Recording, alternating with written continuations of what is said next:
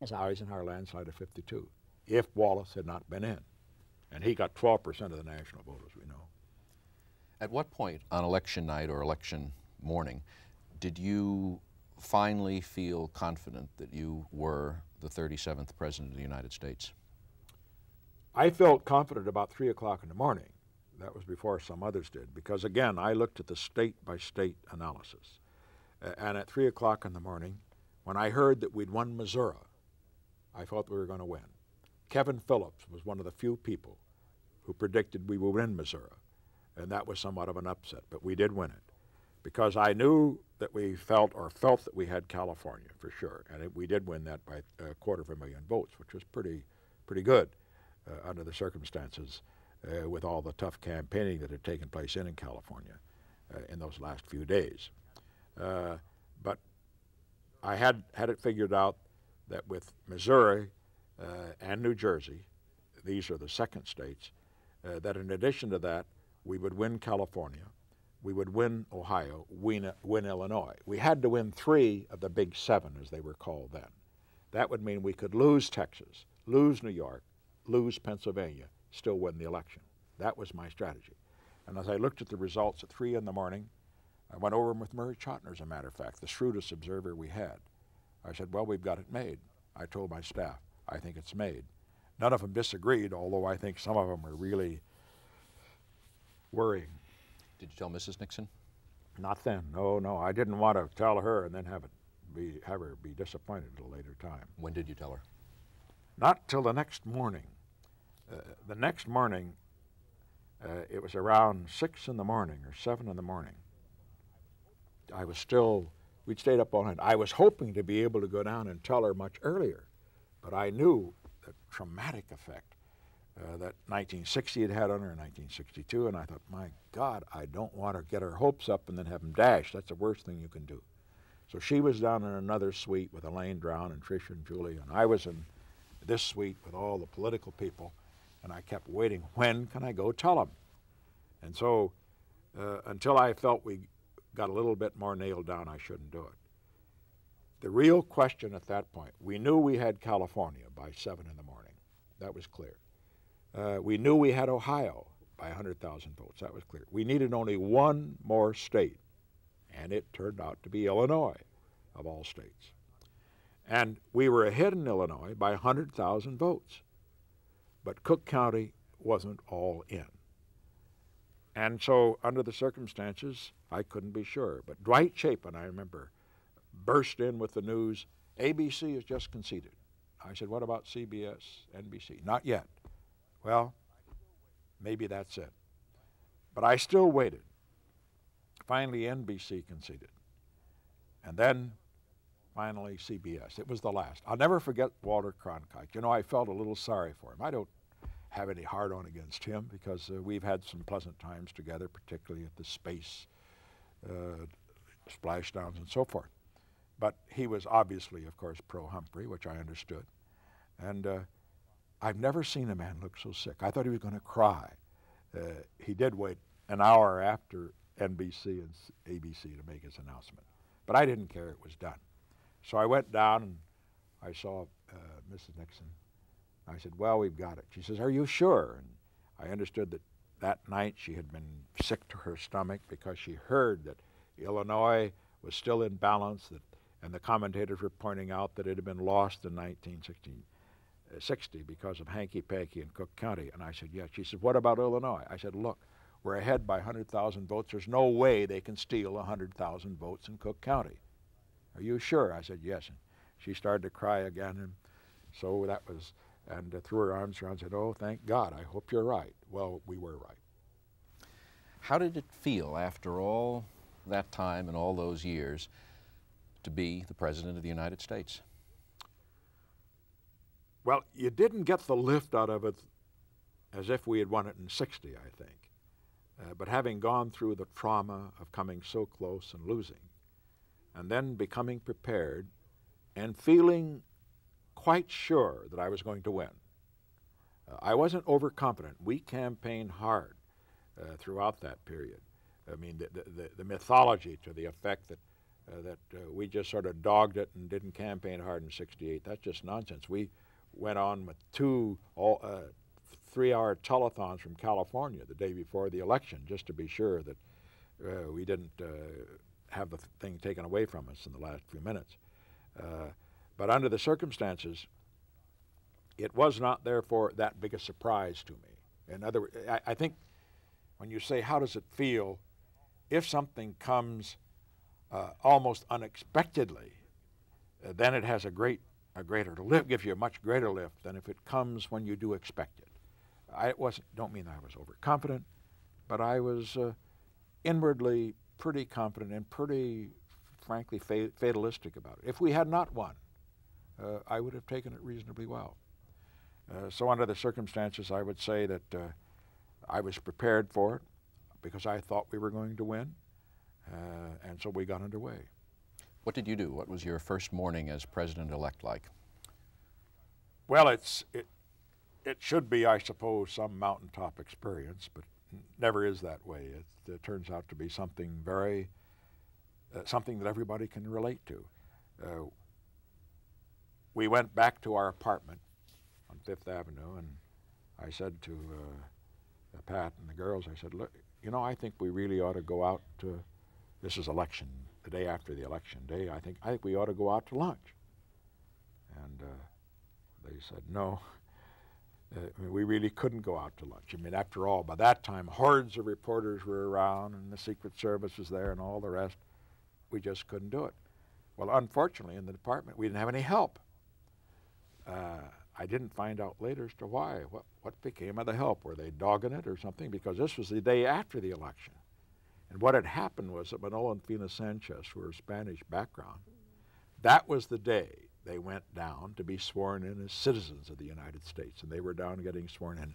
Later, they came back and very proudly they said, next time we can vote for you for reelection as president. They were proud. But in any event, we didn't know that at the time that we were trying to find out what to have for dinner. And so uh, Pat and the girls uh, got some eggs, and they scrambled some eggs, and they made some bacon. And uh, so we had bacon and eggs as our uh, victory feast there in our apartment on Fifth Avenue. And so after that, I uh, uh, was pretty tired because I'd been up all night the night before that everybody else, everybody went bed. And so I went into my library and uh, built a fire and got out one of my favorite records, Victory at Sea. I don't know why I picked it, but I, I've always liked the record. And so I put it on the machine, I tuned it up and opened the windows so that everybody on Fifth Avenue, five blocks below, could hear it. And it blasted out Victory at Sea. That's the way I celebrated. Uh, Roger Ailes, always a legend in his times and our times, always tells everyone, as a matter of fact, as early as this morning, he was telling me that without him you couldn't be president. Uh, do you want to comment on that? Well, if I had to pay everybody that says that, I would be a broke at the present time, and I'm not that wealthy in any event. Uh, but in any event, I suppose what he's talking about are uh, the, the campaign techniques of the man in the arena and that sort of thing. Uh, we developed a lot of very effective campaign uh, techniques in that campaign, and uh, that was one of the best, where people got a chance to participate in it. At that point, we'll break for lunch. Unauthorized question,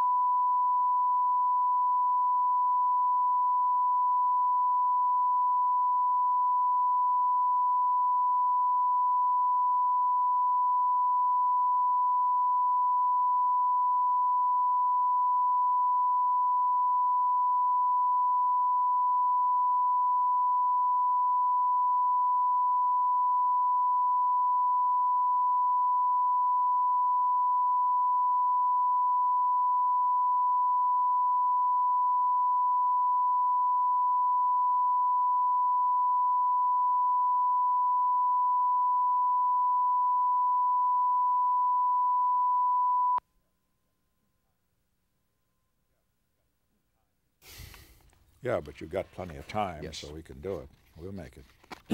It'll move fairly fast. We'll get fairly fast through this uh, Japan de Gaulle. That's not uh, on a 10-point scale. That's of a lesser. Yes?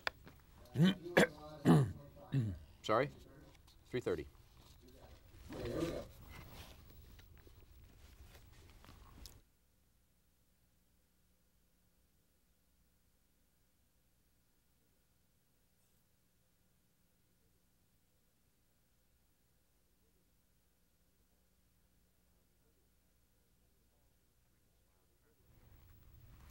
Henry Kissinger apparently had uh, some difficulties, to put it mildly, dealing with the North Vietnamese, with the North Vietnamese in the negotiations. Oh, did he? I recall when he came back toward the end, just before we finally made the agreement, he said, You know, the Vietnamese are just. Let's start again. I remember when he. I remember one occasion particularly when he came back after a very tough negotiation in 1972. And he said, You know, the North Vietnamese are just shits. They're just filthy, tawdry shits. He said, They make the Russians look good, just as the Russians make the Chinese look good when it comes to negotiating. That's the other way around. I mean, you said way. no, because, hold it just a second. Let me tell you why. The Russians don't make the Chinese look good. The Chinese make the Russian. No, the Russians. That's right. Now, we had it right. Go ahead. What did you uh, What did you think of the the recent Kissinger interview, where he sort of backtracked on his opinion about the Pentagon Papers, where he said that at the time he felt it was wrong to publish them, but now he feels, although it's wrong to take papers, that the media should not censor itself uh, in terms of the publication of documents like that. I don't agree. Uh, I agree with Chief Justice Burger's dissent in that case when he says that it is the responsibility of uh, cab drivers, a responsibility of ele- elevator operators, of secretaries, and editors of the New York Times uh, not to engage in such activities of this sort. How did you hear about uh, Martin Luther King's death? I don't recall exactly how I heard about it.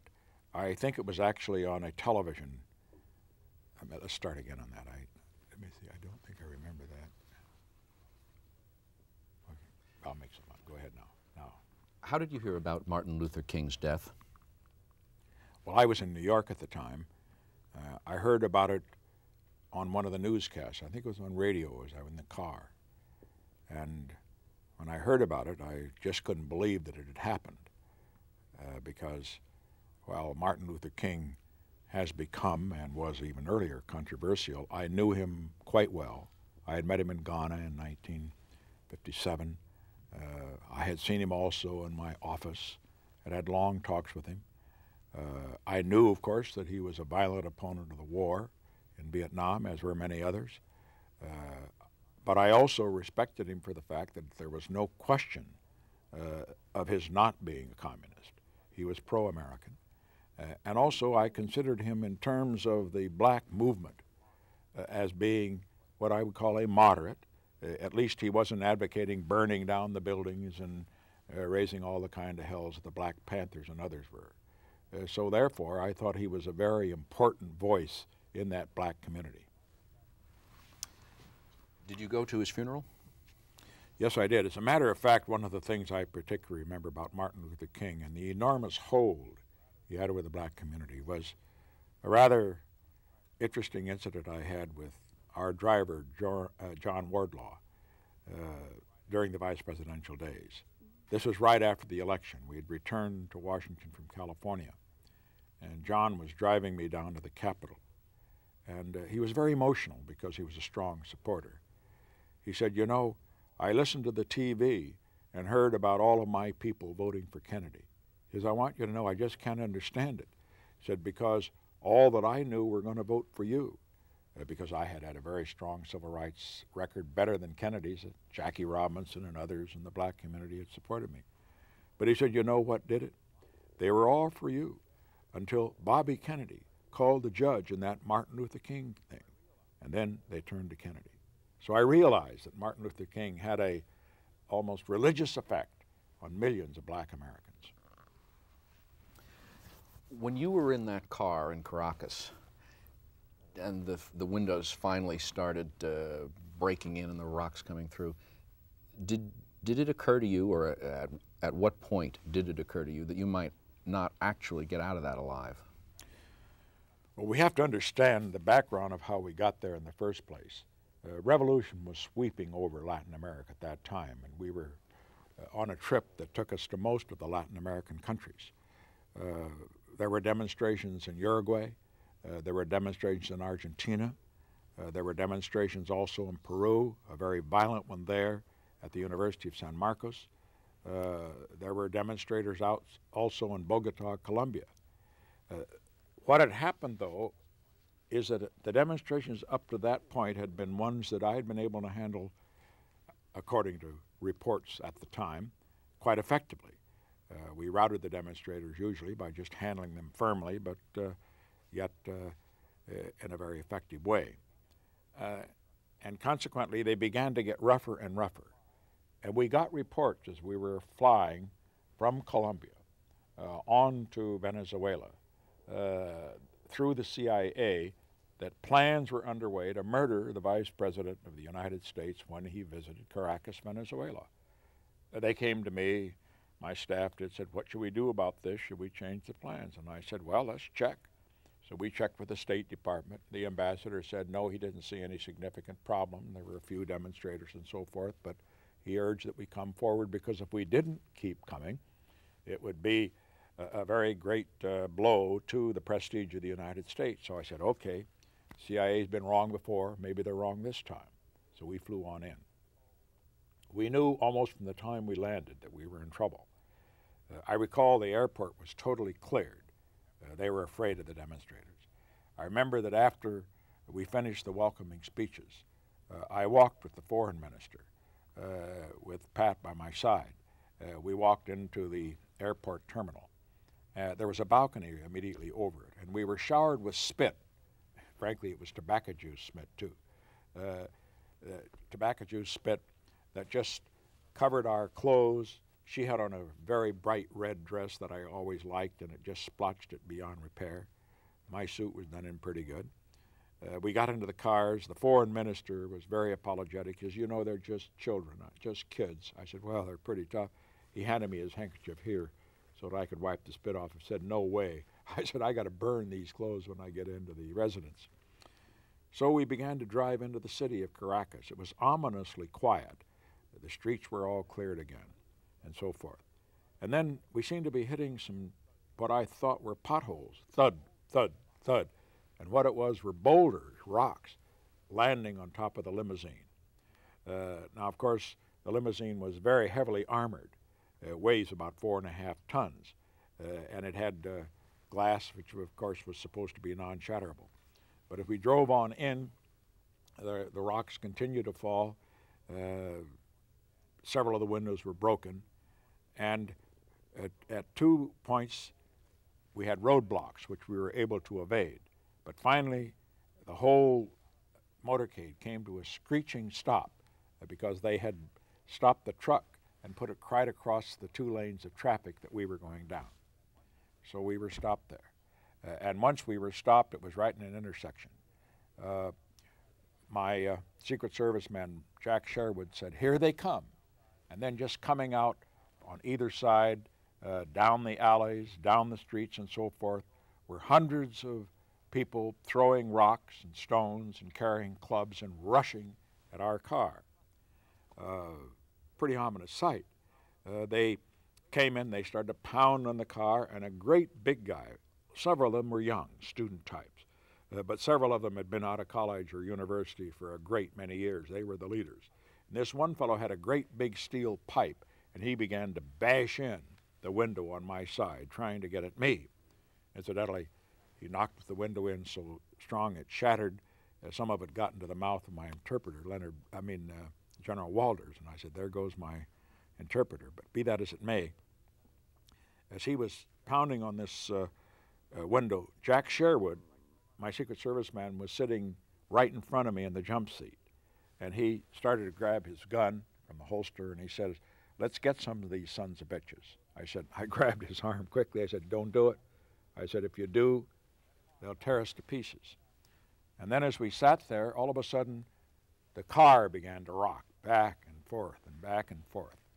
And then I knew what was happening because I'd seen enough movies and read enough about it to know that that's the tactic of a mob turn a car over, burn it.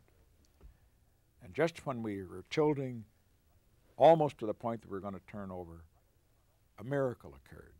Right in front of us in the motorcade uh, was a flatbed truck with the cameraman on it. The driver of the truck, very intelligently, finally was able to maneuver his truck, turning it to the left out of the two lanes of traffic into the oncoming, uh, oncoming traffic, into the other lane.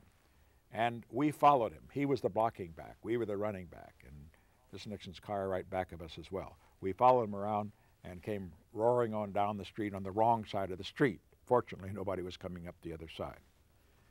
What should we do then? I ordered the driver go directly to the embassy. The foreign minister objected. Oh, you can't do that. We'll get off of our schedule. We've got to go lay a wreath. I said, We're not going to lay any wreath right now. It turned out later that that's where we, where we really dodged the danger, the major danger, because there, where we were, where we were supposed to lay the wreath, uh, a number of bombs, homemade ones, as a matter of fact, but effective nevertheless, were found. Uh, they would have been exploded had we gone. So we went on up to the embassy. But that was as close as anybody wants to get. I must say, incidentally, as far as that particular incident was concerned, I was hoping that one of the results would be to get a more consistent U.S. policy toward Latin America. I came back and I said, the trouble is in the United States press, the only time Latin America makes the front pages in the United States is when there's a revolution or a riot at a soccer game. I said, we've got to have a consistent policy that they understand, or otherwise the communist, and this, of course, was a communist inspired mob, uh, Radio Moscow was inciting it all the way along the line. Otherwise, they're going uh, to take it by default. Well, of course, there became some interest immediately after the Caracas incident, and then it went down. Uh, but politically, it helped me, I must, must say. Uh, for that time, from that time forward, whenever I'd meet people who were of, from Latin America or who had connections with it, uh, they would say rather admiringly, uh, they'd say, well, whether we agree with you or not, uh, we like you because you have cojones. I said, what's cojones? They said, balls. Did you think, were you scared? Oh, I was certainly concerned. What happens in cases like that is you don't get scared, you tend to get cool. Uh, I became, in fact, I was pretty cool. I, I was able to restrain Sherwood. I was able to give the order to move on and so forth. I, I think it's just something you almost inherit or you learn into it. Uh, what happens is that if you go through enough crises, you're prepared when you face a big one. And I'd been through quite a lot before I ever got stoned in Caracas. Did it occur to you that you might not survive, that you might die oh, in yes. that car? Oh, certainly. Particularly when the car was rocking. Then I knew that if something didn't happen, uh, that we may have had it. Oh, yes, that was the danger point. But before I had a chance to think about it, then we were gone. What uh, was Mrs. Nixon in danger? She was. She was right behind us. I remember Alice Longworth had a marvelous comment about her afterwards. She said, I saw that picture of Pat, dear Pat as she called it. And there she sat talking to the wife of the foreign minister. She guessed that's who it was. And she just was seemed to be talking about what they were going to do at the afternoon tea. Absolutely cool. And of course that was the way she was. And she was naturally more concerned than I, I'm sure, because she was behind us. And while they hit her car a couple of times too, she could see all of these goons around us smashing the car with their clubs and everything. And naturally, she got a little concerned. What did uh, she say to you or you to her when you finally met well, after the, safe, the way safety? it worked is that uh, we we roared out of there on our way to the embassy and finally stopped so that she could catch up. And uh, uh, she didn't uh, she didn't go into any great uh, you know flights of uh, of uh, hysteria or something like that. She says, thank God that fellow had the good sense to move out. She saw it better than we did because she saw it in perspective from the car right behind. And uh, afterwards, I must say, I was never more happy to be inside an American embassy than on that occasion. And incidentally, I did finally burn that damn suit. Uh, and I don't. I, I, think she never was able to wear the red suit again. One of my favorites because it was so messed up. You know, spit is bad enough, but tobacco spit, that's the worst. That's the lowest. I'll, I'll accept that when, and hope I have no experience to, uh, to confirm it. Many uh, people felt, and uh, I'm sure still feel, that one of the worst crimes of Watergate was a crime of the heart, in that you let your daughter Julie go out and defend you for weeks, months, after it had to be clear to you that your case was indefensible. Why did you do that? Well, I actually didn't have much choice. I didn't want her to do that. Uh, I didn't want the family at all to do it. Uh, but Julie is a very, uh, a very persistent person. Uh, of all the, of all the people that I have known, I would say that she has perhaps the greatest aptitude for political leadership. I'm not surprised when people, after they've seen her on television, say, "There's the first woman president." I don't know that she'll ever go into politics, but she has the capabilities. She's effervescent, she's bubbly, she's intelligent, she has a big heart, uh, and yet she has an inner strength uh, which is very, very formidable. And she never gives up. Uh, she used to say over and over again after 1960, when are we going to ask for a recount in Cook County? She never gave up. And in this instance, I said to her, you know, I do not think that we're going to survive. I said, this is just too tough. Uh, I don't think you should go out there because I didn't want her to go through what she had to do. I said, These press people are vicious, and since they can't get at me, I'm not meeting them at the present time, they're going to take out on you. I'll never forget the way she answered. She says, But Daddy, we have to fight. So she insisted in going out. Moving on uh, briefly to uh, Japan. What's your opinion, your assessment of uh, Prime Minister Nakasone? he is potentially uh, one of the truly great Japanese leaders.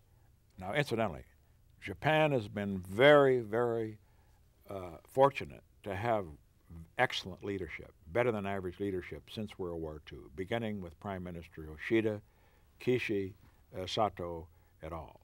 Uh, but Nakasone is from a newer generation, uh, somewhat.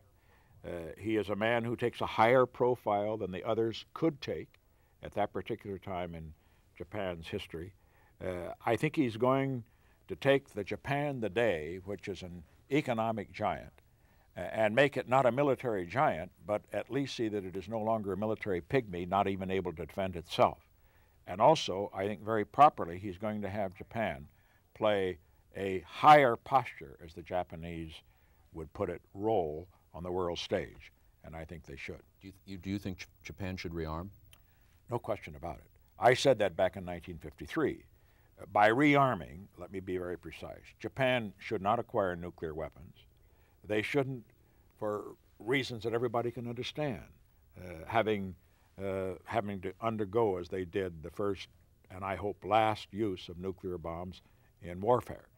Uh, but on the other hand, Japan should acquire the ability to defend itself. Uh, it has armed forces about one third the size of those of North Korea today. That doesn't make any sense. Uh, the Japanese should be able to protect its sea lanes. They've got to have land forces to protect themselves on land, rather than having the U.S.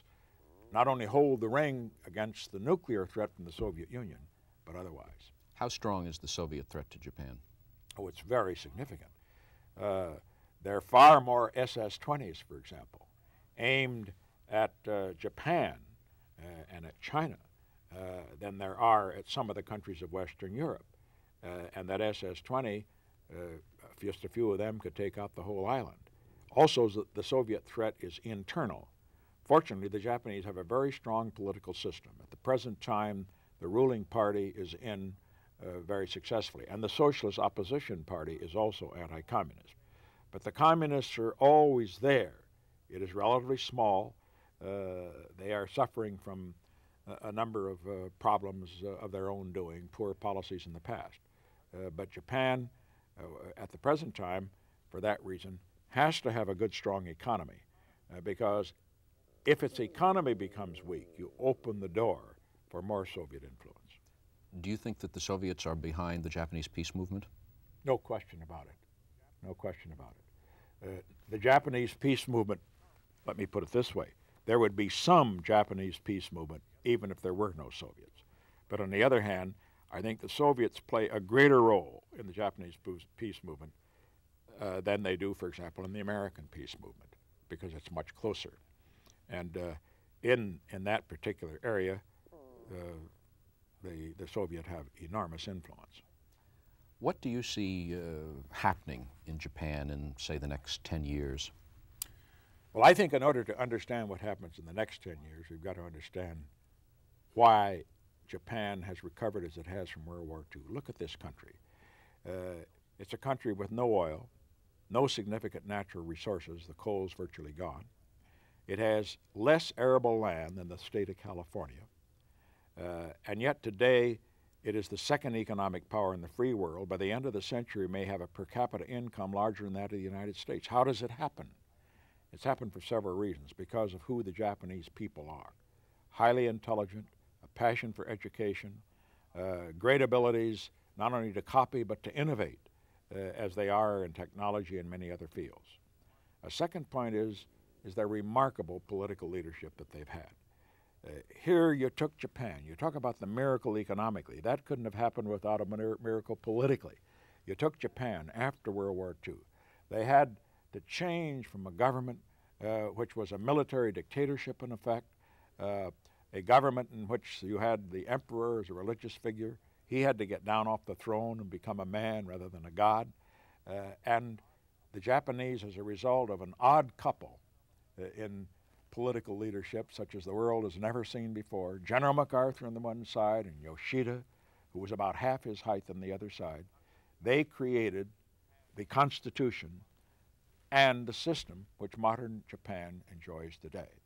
Uh, and so as a result, uh, it, it is, it's a miracle to see what it's done economically. It's a miracle to see its political stability.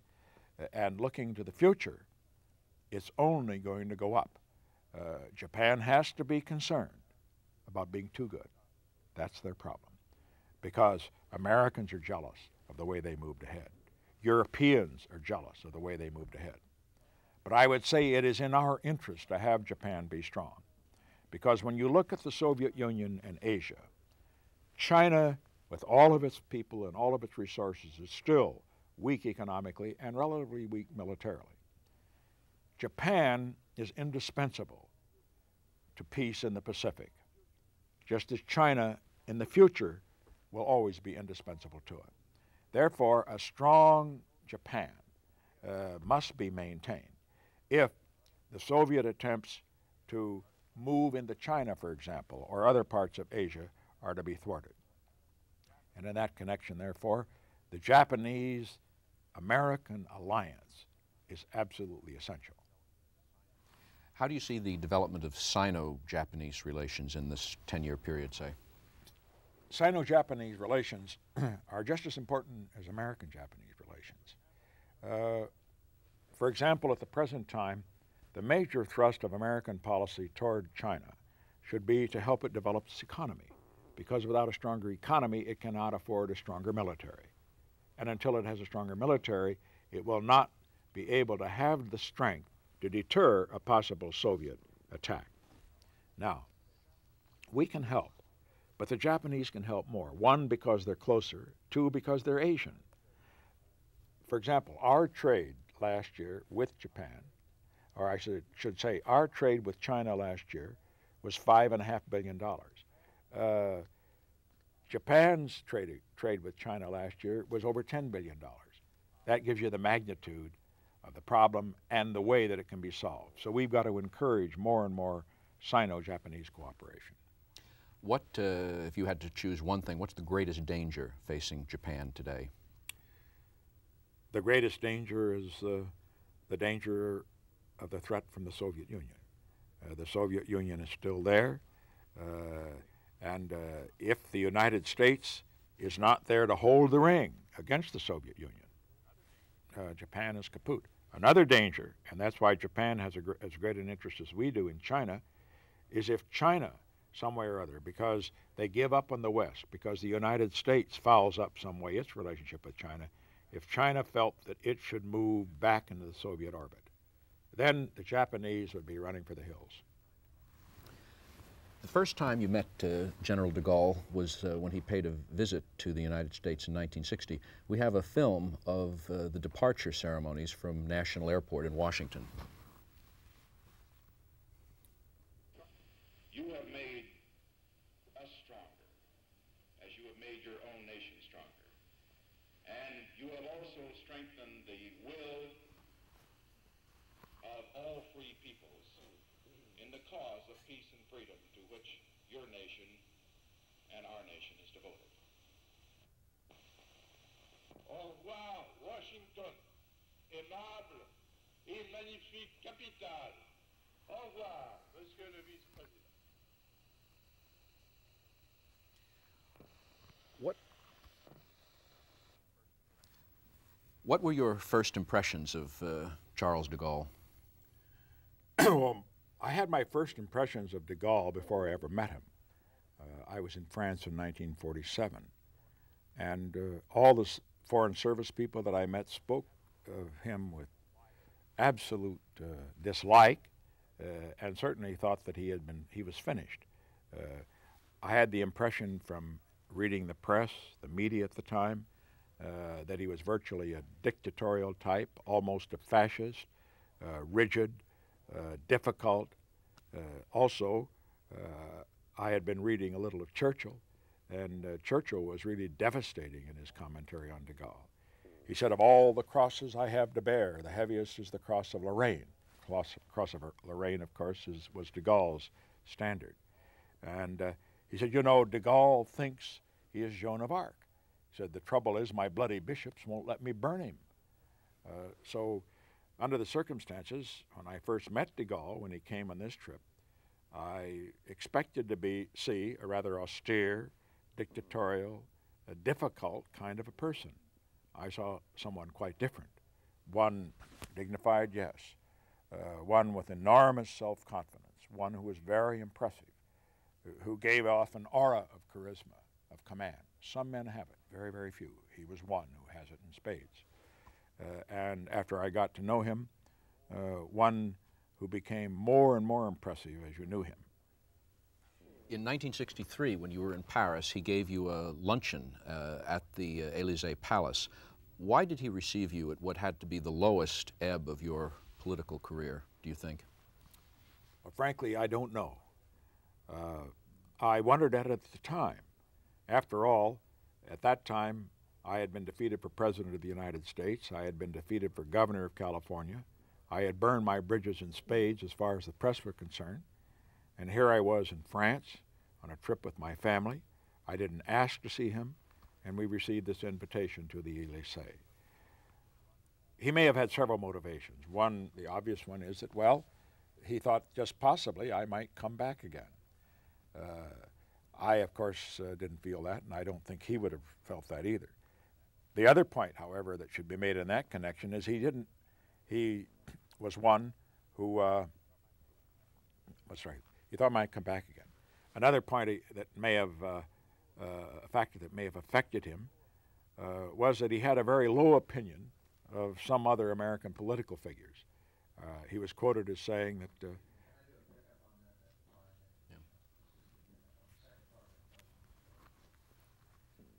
You ready? Yes. Oh, I thought the fly. You get it? Oh, No. that's what he's saying. All right. Uh, that he had a low opinion. The second reason was he had a low Yeah. opinion of others. The second, the second reason was that he had apparently a very low opinion of some American political leaders. Uh, he was supposed to have said at one time that President Kennedy reminded him of an assistant ha- hairdresser trying to comb through problems. Well, whatever the case might be, uh, he did receive me. I think there was a deeper reason, uh, a deeper reason as to why he received me on this occasion. Uh, there was a certain empathy there. Uh, he never mentioned it, as far as I was concerned, but he made a very revealing comment to General Vernon Walters, Dick Walters, when Walters took him a letter that I had written to him, a handwritten letter, when he announced that he was resigning uh, from the office of President of France. He said, uh, like myself, he has been an exile in his own country. He had been in the wilderness. He had gone through adversity. I had been in the wilderness and gone through adversity. He appreciated that. And I think he respected it and admired it, and therefore saw things and possibilities in my career uh, due to the fact that such things had happened to him. What was the luncheon? What is luncheon at the Elysee Palace with General de Gaulle like? Well, first of all, coming to the Elysee was a great thrill for me. I'm somewhat of a Francophile. I uh, had four years of French in college and read uh, Rousseau and uh, the other French uh, classics uh, in, in French. Uh, and also, I had read a lot of French history. You came to this great building, and, and the only thing really that surpasses it in the places I visit is the Vatican. Uh, because in this same trip, incidentally, I was received by Pope and the family as well uh, by Pope uh, Paul before the day before he was uh, the coronation took place. But in any event, uh, we drove through the gates and uh, went into lunch. the lunch was set up outdoors. It was in the summertime, beautifully done, as of course any French chef would do it. and of course, de Gaulle had the best. Uh, and uh, but very friendly. The, the only only six people present. Uh, President and Mrs. de Gaulle. She's a very remarkable person, incidentally. And the Bohlens, Mr. and Mrs. Bohlen. He was the ambassador, and Mrs. Nixon and myself. In your uh, memoirs, you wrote about a, uh, a, toast that General de Gaulle made at that luncheon, which turned out to be very prophetic. Yes. After the toast, uh, Can you begin with just after? What? With just after the toast? You want to Without say, saying Oh, yes. yes, yes, fine. Uh, uh, don't say yes, fine. Uh, now, in his toast, is that what you want me to say? After the luncheon. After the luncheon, uh, de Gaulle proposed the toast. Uh, it was a surprise to me, and I think even a greater surprise to Bohlen, uh, because he said, in effect, he said, I realize that you have been checked uh, in the pursuit of your goals. Uh, but I have sensed that there is no doubt but that at some time in the future you will serve your country again in an even higher capacity. Well, uh, that's the first time I'd ever heard anybody, even, even among my closest friends and supporters in the United States, let alone abroad, indicate that I might have a political future. Uh, and it really shocked Bohlen. Uh, he didn't wasn't uh, bitter about it or anything like that, but he says that was really a remarkable statement. Now, again, you could say, well, de Gaulle's just smart enough to say that to anybody, because you know we always say nice things to our visitors, particularly if we're fellow politicians. Doesn't cost anything, makes them feel good, and someday it may be useful to you. But the interesting thing here was that I have talked to several French leaders, uh, cabinet officers and other, others through the years. And over and over, they tell me that de Gaulle at various times has told them that same thing prior to the time I was elected in 1968. In fact, there was a very amusing incident. It occurred uh, at a time that they were having de Gaulle inspect the new quarters, guest quarters at the Trianon Palace at Versailles uh, for distinguished guests. And as they were going through it, uh, they went through the area that was for the president or whoever it might be, the head of state who was coming there. And the bathtub was apparently quite a small one. And uh, the guide said, You know, uh, this bathtub looks a little small for Johnson. De Gaulle smiled. He says, Yes, but it looks about right for Nixon. What are your uh, main recollections of your trip to Paris and your visit to uh, with de Gaulle uh, in 1969 when you were now president, when his prophecy had been fulfilled? I would say that uh, first, just arriving there, uh, this was the first state visit uh, to Paris as president. I had been there, of course, as vice president. And uh, uh, no one does protocol better than de Gaulle. Uh, he believed that that was a very small price to pay and he did this, he put on the same show. I learned later from General Walters, who was in our aid in the embassy, or military aide, whether it was the the uh, leader of a small African or Asian country. He did the same for them as he did for the President of the United States. But it was magnificent. But it was a bitter, cold day. And uh, the aides had told me that I have to wear my overcoat and gloves and all that business and so forth. And so I had had it on. And as the plane pulled up uh, to the uh, apron, I saw de Gaulle standing there. Here's a 78 year old man standing erect, no hat, no coat. So I took off my overcoat and walked down to meet him. Symbolism. He dealt in symbolism. He thought that was very important, just to show that uh, respect. He was not going to wear an overcoat. He knew what the pictures would look like as well. And then, too, I have memories of many things that happened. We had hours and hours of talk. Uh, I just impressed by the way he was able to. He reminded me of MacArthur. He talked with precision. You could take de Gaulle's conversation, transcribe it, and never have to change a comma or anything, or a word for that matter. He didn't talk in commas too much. Uh, the precision of it, he spoke, for example, then, as he had clear back in 1963, about the importance of the United States talking to China and negotiating with China now when they needed us, rather than waiting until later when they would be so strong we would have to talk to them because we needed them. He talked about the need to bring the war to Vietnam to close. He talked, for example, very effectively uh, about uh, uh, what he called what, what has been called detente. He said, "Well, what are you going to do? Uh, are you going to break down the Berlin Wall? If you're not ready to make war, make peace, but make it on a very strong basis, from strength rather than from weakness." Uh, all these conversations impressed me, but I think even more those times when he'd speak philosophically, because he was a philosopher. He was a philosopher statesman without question and without uh, uh, a peer, in my view. Uh, he, we were sitting, we were sitting in a beautiful room in Versailles where the conversation was taking place. And in a break in the conversation, he walked over to a window and speaking to no one in particular, but to everyone, he looked out the window and he said, Louis XIV ruled all of Europe from this room. And then another case, he was talking about World War II and the hopelessness of all war, particularly modern war. And he said in World War II, all the nations of Europe lost. Two were defeated. He had the ability to put everything so precisely, so well. And then a, a final memory uh, the great dinners, the toasts that he prepared, uh, a conversation with Mrs. de Gaulle, uh, where she, speaking Uh, of their closeness to the family, made the point that uh, the presidency is temporary, the family is permanent.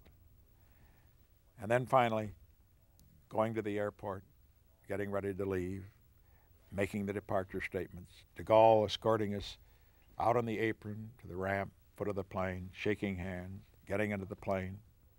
Then the custom is for the head of state to go back into the reception room and wait for the plane, to take off. And I assumed that's what he would do. I got into the plane. And then as the plane was taxiing down the runway to take off, I looked out. De Gaulle was still standing there, standing on the ramp in a salute. Symbolism again. I think he did that because he felt that after very difficult years with both, Ken, both Kennedy and Johnson, that finally there was in the White House a president like Eisenhower who understood France, who would restore the French American uh, relationship, and who understood and respected de Gaulle. Uh, de Gaulle's image was, uh, was, was formidable to say the least, and he spent a lot of time and effort uh, creating it and maintaining it did you get a chance to to see uh, the man behind the myth, so to speak? To an extent, yes. Uh, I saw it certainly. Uh, well, let me put it this way: Mrs. Nixon saw it. Uh, he was a very thoughtful man. You know, head of state comes to a dinner the poor wife of the host, in this case is Mrs. Nixon, does all the work preparing the flowers and the name cards and the menus and all that sort of thing. and she had a beautiful centerpiece with a fountain in it and flowers all around. It was held in the Carlton Hotel. There was no residence for a vice president then, and we had to rent out a hotel. And de Gaulle spent quite a bit of time talking to Mrs. Nixon about how beautiful the centerpiece was, complimenting her on the dinner generally. Uh, he was a very he was a very fine gentleman. Uh, he wasn't that austere type. And also, de Gaulle was a deeply religious man, and many people are not aware. You think of him only as a great soldier and even potentially a great statesman. Some do. Uh, but he was also a very devoted family man. Uh, I think one of the most moving stories I've ever heard of a public figure involved de Gaulle, uh, something you would not expect from him. Uh, they had children, other children. One is an admiral. One is an admiral in the French Navy today. I met him. Uh, his name is Philip de Gaulle when I was in Paris. Looks just like his father, younger, of course. And then their last child, Anne, uh, unfortunately, was born retarded because Yvonne de Gaulle, de Gaulle's wife, was in a terrible automobile accident just before she was born, brain damage to the child. And that retarded child was one that they insisted on keeping. Uh, the doctor said, Look, there's nothing you can do for her. Let us take her to a home. And de Gaulle answered, She did not ask to be brought into this world. We will keep her here. There was never a day when he didn't go home and try to entertain her. He was the only one that could make the child laugh. Uh, he would play little games with her. Uh, she loved to take his military hat, the decorations on it, and play with them. Uh, he, was, he would always walk her around whenever he could in the gardens and so forth. Uh, during the war, uh, the press always wanted to take pictures of him with his family. He would never allow it, except with him and Mrs. de Gaulle because he didn't want them to have a picture of just the older children without Anne de Gaulle. Uh, the thing which really uh, caused him very great pain was the fact that other children sometimes could be so cruel to Anne because she was different. They taunted her because she was different. And then finally, in, she was 18 years of age, she caught pneumonia and she died. There was a very simple ceremony in the little graveyard at Colombey where they lived. A few prayers, some tears. De Gaulle, Mrs. de Gaulle standing together silently at the grave. And finally he took her by the hand and said, Come, Yvonne, now she's like the others. And from that time on, there was never a day till the end of his life that on a Sunday he did not go to the grave to lay fresh flowers. That was de Gaulle. How, uh, how did you learn about his death? I learned about it in Washington. Uh, it was from Henry Kissinger. He brought the, he usually brought the news of anything development of that sort. And uh, just as soon as I learned it, I said I was going to go to the funeral. I was, uh, and as a result of my going, everybody else came. Uh, it was a, an enormously moving event. Uh, it was in Notre Dame. It was not actually the funeral, I should say. This was simply a memorial service because de Gaulle typically had put in his will no funeral. Uh, all he allowed was to have a little private service out into his home village, and a butcher and uh, a tradesman Others uh, were among those who acted as the pallbearers, just very, very simple people. But of course, the nation insisted upon having a funeral. Uh, President Pompidou said it very eloquently when he heard about the death. He said, General de Gaulle is dead. France is a widow. And so all the people were gathered there in Notre Dame, and I remember the moving eulogy that was given by President Pompidou, who was to succeed de Gaulle and or had succeeded de Gaulle when de Gaulle retired. And I was leaving the cathedral when it was completed. And then the great organ in Notre Dame, it's a huge organ, began to strike up the Marseillaise, that great moving song. And I started to turn toward the organ and toward the flag to salute. And unfortunately, another one of the guests happened to grab my arm at the time just to pay his respects. The moment was lost. But it occurred to me later that there's no more moving tribute that could be paid uh, to de Gaulle uh, than for that whole mass of people from all over the world to turn toward the altar as the Marseillaise was being played in salute. What, uh, uh, how do you think history will assess de Gaulle? What, uh, what will his legacy turn out to be? How will he have made a difference for France, for Europe, for the world? Well, de Gaulle made a difference in several ways substantive. Uh, first, without de Gaulle, France would never have recovered its spirit after the terrible defeat of World War II. Without de Gaulle, France would not have become a respected, powerful nation in the world today as it is. And without de Gaulle and also Adenauer, and the fact that the two came to power at the same time together, without de Gaulle and Adenauer, you would not have had, at the time we've had it, the French German rapprochement, uh, which ended centuries of bloody wars between two very great peoples. So all of these are achievements that will go down in history for de Gaulle. I am inclined to think, however, that he will be remembered more for what he was than for what he did. Uh, he was a man bigger than life. He once described himself, and this is not an arrogant statement, even though some would think it that. They asked what he was politically. He said, De Gaulle is not on the right, he is not on the left, he is not in the center, he is above. What he meant there, he was above politics. And under the circumstances, I think you look at de Gaulle generally, uh, he was a massive personality on the post war scene. An intellect of unquestioned superiority, a man of supreme eloquence, a man who understood symbolism and modern communication, uh, a man that was bigger than France, bigger than his own country, uh, one that everybody could recognize as a giant, even though they might have disagreed with him bitterly.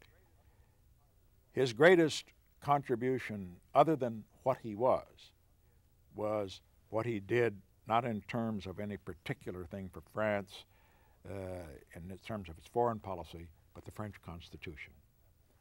I remember, for example, that when I was vice president, uh, I had the opportunity or the responsibility of going to the airport to visit to meet visiting prime ministers. And it seemed about one month I'd be going to meet a new Italian prime minister, and the next month it'd be a new French prime minister. That's still the case with Italy. They change prime ministers about two or three times a year. But in France, de Gaulle stopped that. He created a strong presidency and yet democracy underneath.